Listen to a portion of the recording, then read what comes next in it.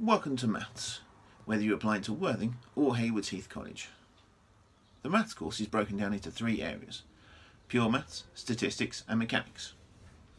In Pure Maths, we'll be studying topics such as trigonometry, calculus, that's integration and differentiation if you studied them at school, and coordinate geometry. Coordinate geometry as equations of lines and circles.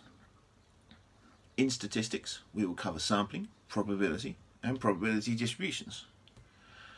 Distributions such as the binomial distribution and the normal distribution.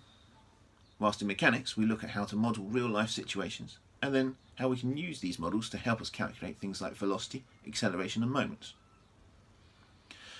Over the two years, you'll have internal assessments in order to support your progress, but your final assessment at the end of the two years will consist of three papers two pure papers, and one which is a combination of statistics and mechanics. Each of these papers is equally weighted, so your final grade will consist of two thirds pure maths and one third statistics and mechanics. In each two hour lesson, we will look at developing a new mathematical skill and then taking that time to practice that skill. Your teacher will support you in understanding what is taught but will also make sure that you're communicating your answer using the correct mathematical terms and techniques. During lessons, we will also help develop problem solving skills, a key element if you wish to be successful in the course.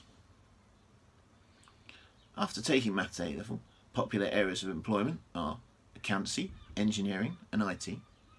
But if you want to go to university, physics, biomedical science, computer science, and of course maths are all popular choices. I'd also like to take this opportunity to remind you of the maths getting ready for tasks on the website. In those tasks, we have focused on the key skills of algebra, surds, quadratics, simultaneous equations, using Pythagoras and trigonometry. You use these skills a lot over the two years, and although we spend the first few weeks reviewing them, if you are comfortable with them, it will make the transition from GCSE a lot easier. Thanks.